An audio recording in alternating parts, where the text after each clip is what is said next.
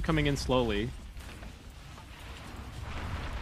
Yeah, they're moving into this. Actually, the toss back onto the Shadow Fiend, but Paparazzi, he's stuck. Black Hole comes out of them, two of them as well. Michael tried to get in with the save, but wasn't there, but they've got the Shallow Grave regardless. Leo Star Chill trying to get away, cocking up the ultimate, but is gonna fall the moment the BKB runs out. Dies to the Pulse Nova, and now look over towards Affliction as well.